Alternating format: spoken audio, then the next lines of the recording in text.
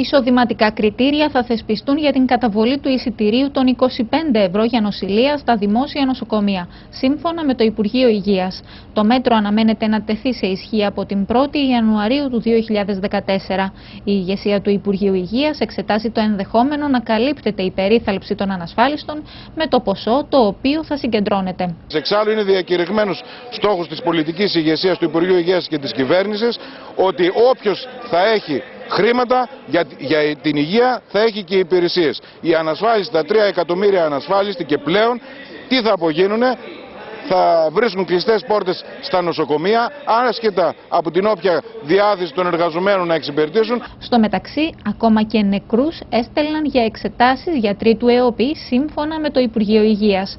Μόνο στη Λάρισα, ένας ορθοπαιδικός είχε παραπεμπτικά αξίας 400.000 ευρώ σε ένα μήνα. Ο βουλευτής Λάρισας του Κομμουνιστικού Κόμματος Γιώργος Λαμπρούλης που είναι και γιατρός στο επάγγελμα τονίζει ότι θα πρέπει οι παρανομούντες να τιμωρούνται. Οι κυρώσεις που προβλέπονται από τον νόμο.